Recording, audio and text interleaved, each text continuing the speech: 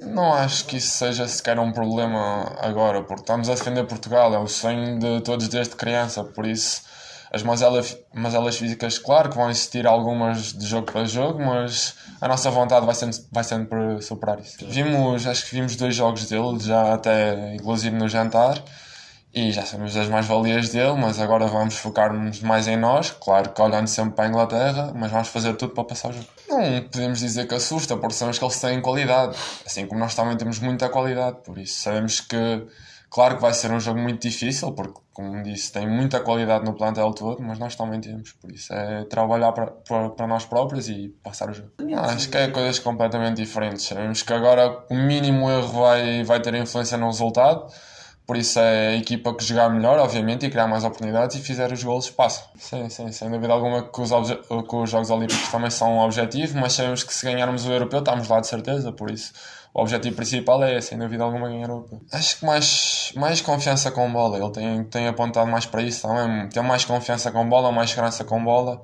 porque nós somos uma equipa que tem muita qualidade e temos jogadores muito bons tecnicamente e podemos ter mais bola, acho que é um pouco isso. Não, primeiramente é futebol. Acontece, são jogos que acontecem. Apesar de que, na minha opinião, no, no primeiro gol acho que foi falta. E depois na, na, expulsão foi, estávamos a tentar o tudo por tudo e são lances que acontecem. Nos dias a seguir foram dias um pouco difíceis para mim, mas tive sempre a sentir o apoio de toda a equipa, por isso foi mais fácil de, de ultrapassar esse momento. E agora estamos nos quartos, nos quartos de final, por isso só dependemos de nós próprios.